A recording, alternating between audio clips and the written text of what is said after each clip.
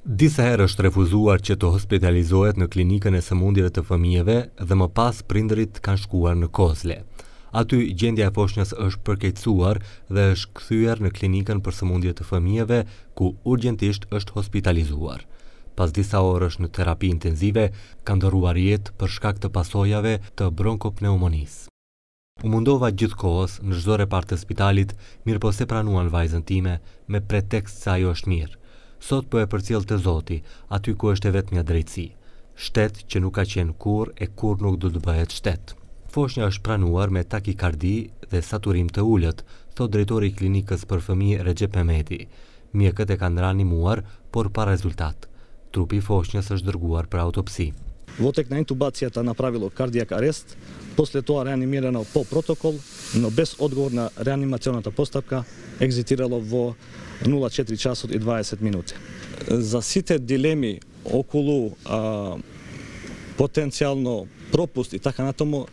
Relevantnite institucii qe prezemat soodvetni merki i oni qe izlezat so zakluçoci.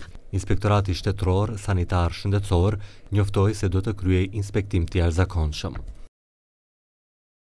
Dokumentacioni mjekësor i siguruar dhe deklaratat e punonjësve shëndetësorë do t'i dërgohen Ministrit të Shëndetësisë dhe do të inicohet formimi i komisionit për mbikëqyrje eksperte. Përveç këtij rasti, një foshnje nga Kumanova po lufton për jetën dhe ende është e hospitalizuar në Klinikën e Fëmijëve pasi nëna i vdiq gjatë lindjes.